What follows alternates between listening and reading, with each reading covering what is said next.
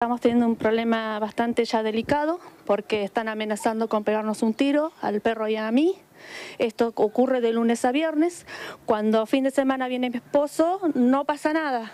Pero sí de lunes a viernes y ya se están yendo a cualquiera porque inclusive fueron a la OMI, hicieron una denuncia que no está ni siquiera ni nombre ni apellido, o sea, todo, cualquier cosa están haciendo. Yo no jorobo a nadie, eh, tengo acá vecinos que pueden decirlo, yo no jorobo a nadie. Eh, se están... ¿Por qué motivos le quieren pegar un tiro tanto a usted como a su perro? Supuestamente le molesta a mi perro. Supuestamente le molesta a mi perro. Todos tenemos perro, hasta él tiene perro. ¿Alguna vez lo mordió o algo para que diga eso? No, me pasa que ladra, pasa y ladra. Desde, yo lo tengo de los 45 días el perro. Y eh, tiene ahora 8 meses. Y desde que él empezó a ladrarle, él empezó a tirar patadas o trompadas. Cuando no estaba esto, le pegaba al perro por acá arriba.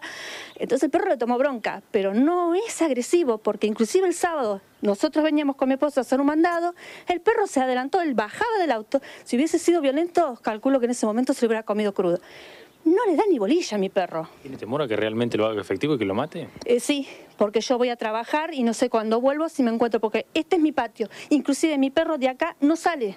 Cuando sale para afuera sale con mi marido, va y vuelve con nosotros. Y es nada más que un domingo o un sábado, y un ratito. No lo saco ni siquiera en el pasillo que me corresponde, pero no lo hago. Em, sí, porque yo cuando vuelvo de un mandado o cuando vuelvo del trabajo, yo me puedo encontrar con que mi perro le pegaron un tiro o me lo envenenaron.